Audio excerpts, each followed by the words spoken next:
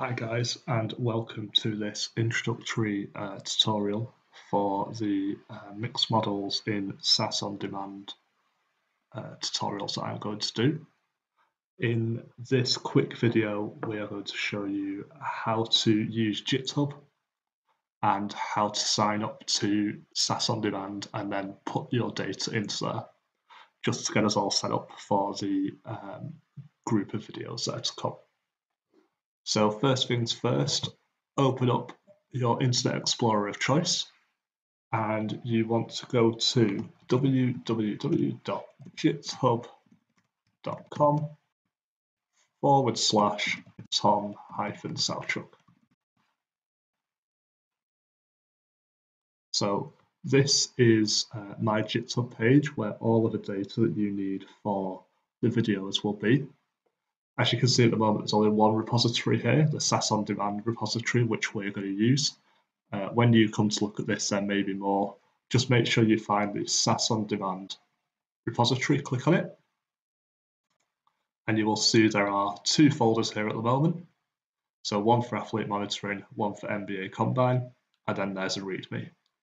And the README file is below and basically gives you uh, all of the YouTube videos and a little bit of a blurb as to what all of the YouTube videos will do. So as I write this video, I've got two tutorials planned. One using the NBA Combine data you can see, and one using the athlete monitoring data. Now, one of the things that I've done to make this easier for you, because I'm still figuring out how to use GitHub, is I have left a download link for the files. So what we're going to do now is we're going to download both sets of files. Literally just click on the link, takes you to this download um, resource creator and then downloads both the files. And that's basically all you need to know with regards to GitHub. Uh, feel free to look around, to look in the actual folders and see if there's anything there that is of interest for you.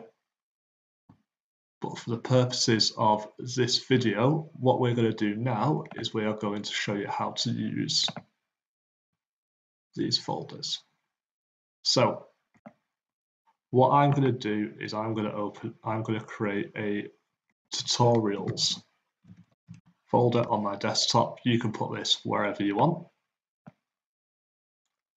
And in order to use these files, what you need to do is you just need to extract them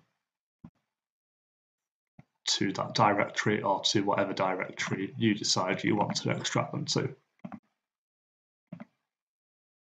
And then this shows that the files are now extracted, so you've got five files there. Same thing for the athlete monitoring, right click, extract all. And I'm going straight into the tutorials folder again.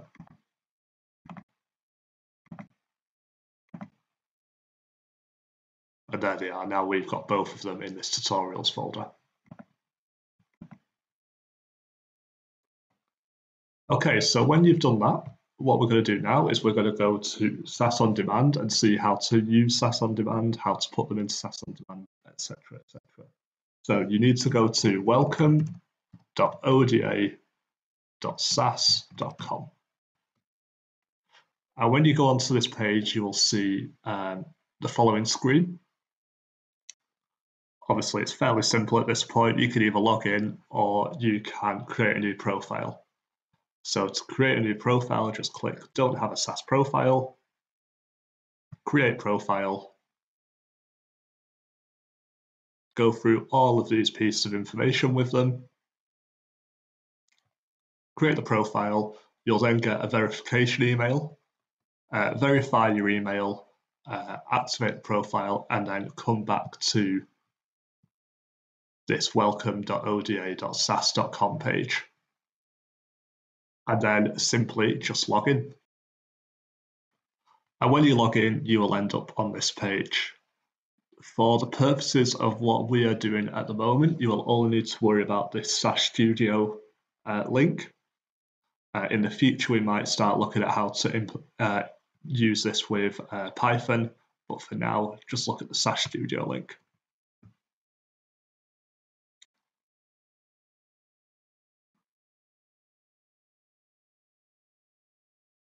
And when you click the SAS Studio link, this is the screen that you get. So you've got various elements on the left-hand side uh, related to the server, and on the right-hand side are your codes. And at this point, it's really important to note that the server is separate from your laptop or computer. So in order to see anything that you see on your computer or laptop on this server, you need to upload it. So that's what we're going to do now. What we're going to do is we're going to set up a new folder called tutorials. Then another new folder in there called NBA Combine. And then with this folder selected, you need to upload your files. So we're going to choose the files, go and show all files. We'll go straight to the desktop. Tutorials, NBA Combine, and then we are going to upload just the data and the script. And when they upload, you'll see they appear here. Now we're going to do the same thing for athlete monitoring. We make sure that we are clicked on tutorials and not NBA Combine. We're going to add another folder. Again, it's going to be athlete monitoring. You can see we've got two folders here now. And then again, with this, with the athlete monitoring folder selected, we are going to upload our athlete monitoring data. So for this, you need to upload data one, data two, and the script.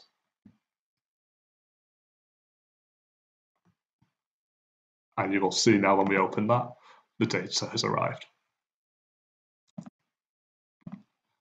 Okay, so now you can see that you have got all of your data in the athlete monitoring folder and all of your data in the NBA Combine folder.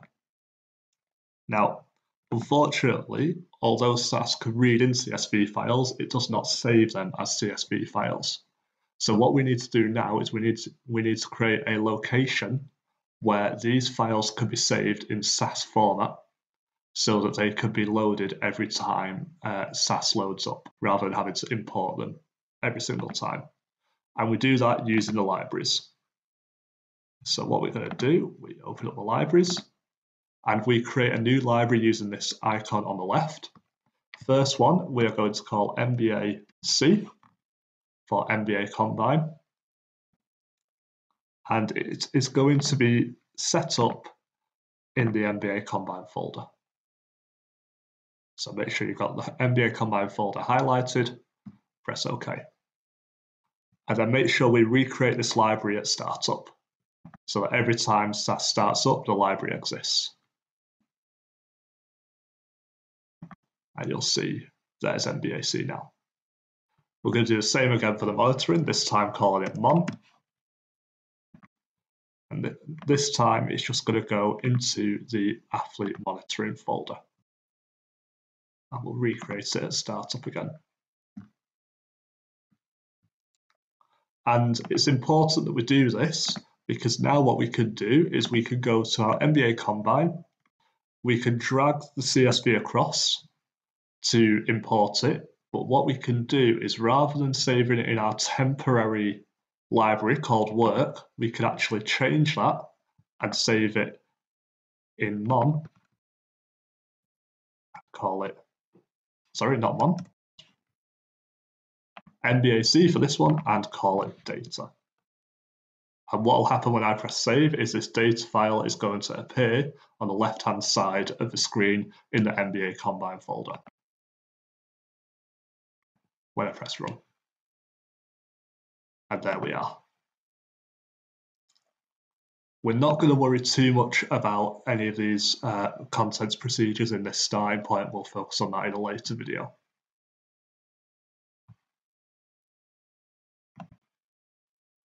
So let's do the same again for the athlete monitoring. We're going to upload the data one. Make sure this one goes into the right one, which is mon. Call it data one. Save. Run the script. and then you have your data one in SAS. And that is as far as we are going to go for today.